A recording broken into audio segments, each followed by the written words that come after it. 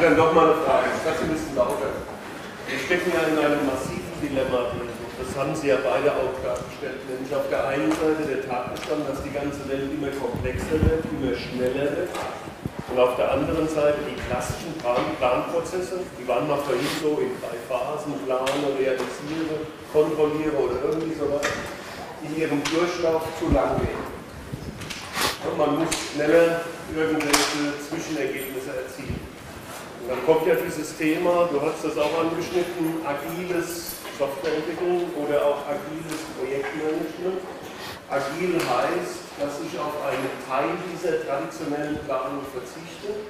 Diese traditionelle Planung hat den Vorteil gehabt, so nach dem Motto, wenn ich das ordentlich geplant habe und lange darüber nachgedacht habe, und wenn ich dann ordentlich den Prozess ablaufen lassen habe, nach anderthalb, zwei, zweieinhalb, drei Jahren, dann kam hinten auch was Ordentliches raus, nämlich das, was ich ursprünglich geplant hatte. Aber das dauert ja zu lange. Und agil heißt, ich verzichte auf einen Teil darauf. Und damit entsteht natürlich Tür und Tor, wird geöffnet für Zufälle, für momentane Situationen. Wie gehen Sie im Projektmanagement wie gehen wir im Projektmanagement mit dieser Problematik um? Also, also ich, wie verhindern wir Kraut und Rüben und Rübenacker und äh, völlig zerwühltes Feld, wenn wir eben in agile Projektmanagement, Planungstechniken hinein. Also ich, ich, sehe das nicht so als Widerspruch, wie Sie das jetzt formulieren, aus zwei Gründen. Auch wenn ich Scrum oder agile Methoden mache, habe ich einen Rahmen, in dem ich mich bewegen muss. Auch eine IT-Architektur, Enterprise Architecture Management. Ich habe bestimmte Ziele, die ich erreichen will.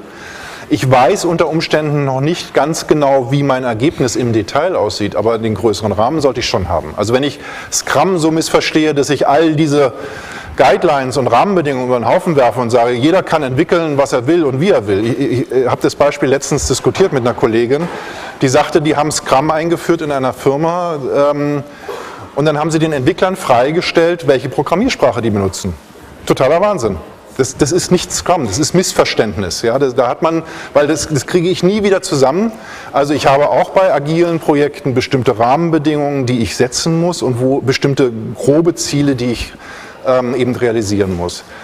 Insofern, ich sehe das nicht so ganz als entweder oder, sondern äh, wir haben mal auf einer Konferenz in äh, USA ähm, ein wunderschönes Wort gelernt, Water Scrum Fall Projekte. Es ist aus meiner Sicht eine Mischung von beiden. Es gibt sicherlich auch eine IT heute nicht mehr die drei Jahres Riesenprojekte, wo ich mal 20 Millionen verplane und dann mache ich das. Also das habe ich in letzter Zeit kaum noch in der Größenordnung gesehen, sondern auch solche großen Themen versuche ich kleiner zu schneiden, versuche ich kleiner zu machen, schneller zu sein, eben die wesentlichen Dinge schneller auch umzusetzen. Und dann kann ich in dem Rahmen natürlich auch agile Methoden einsetzen und sagen, pass auf, wir wollen ungefähr das. Wie das ganz genau aussieht, wissen wir jetzt noch nicht. Das werden wir dann im Laufe des Prozesses uns erarbeiten zusammen.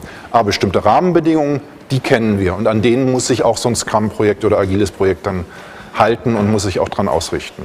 Also es ist eine Mischung, glaube ich. Es ist nicht ein Entweder-Oder. Ich glaube, dann macht man auch wieder was falsch. Ja, das, das Verstehen, also viele verstehen Agil und Scrum eben so, jetzt gibt es keine Regeln mehr, jetzt darf jeder machen, was er will und wir reden ganz viel miteinander. Und dann wird schon was Vernünftiges bei rauskommen. Ja, und das, das ist es nicht. Ne?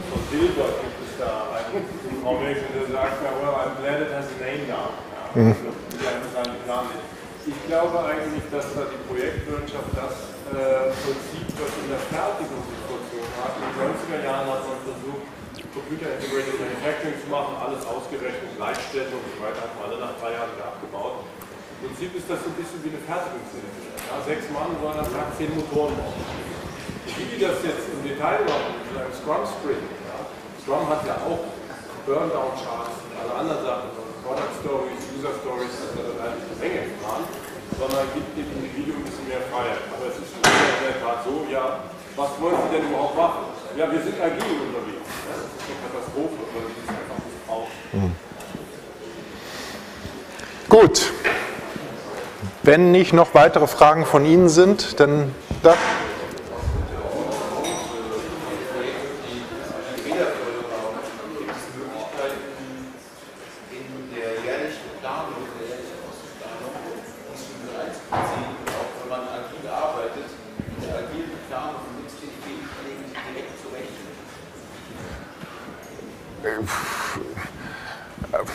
Schwierig, also, weiß ich, ich, auf der Grund der Größe meinen Sie, oder aber naja, also die Unsicherheit haben Sie bei allen Projekten. Also das, ähm, das ist schon eine Frage, aber ähm, macht man das bewusst?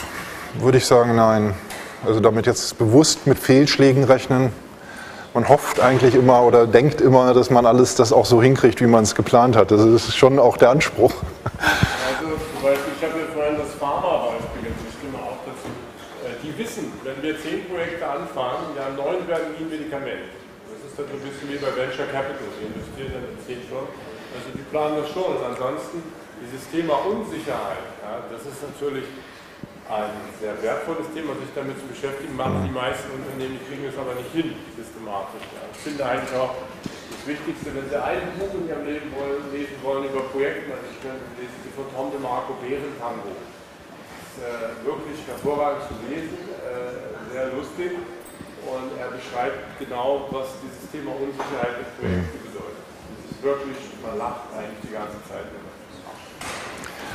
Also die, in der IT wird es eher nicht so gemacht, dass man sagt, wir starten mal zehn Projekte und eins wird schon durchkommen.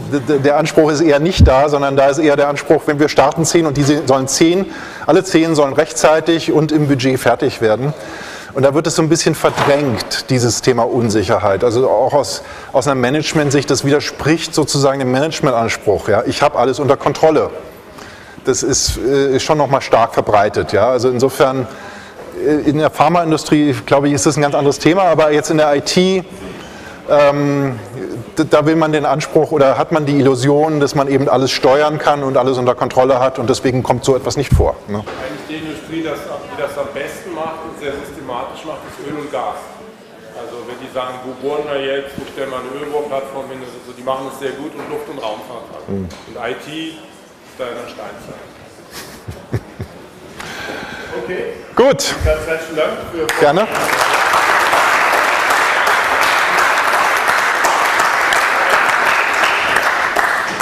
Falls Sie noch mal Fragen haben, hier ist auch meine Mail-Kontakte auf der letzten Seite. Können Sie mich gerne anschreiben. So, jetzt wieder in.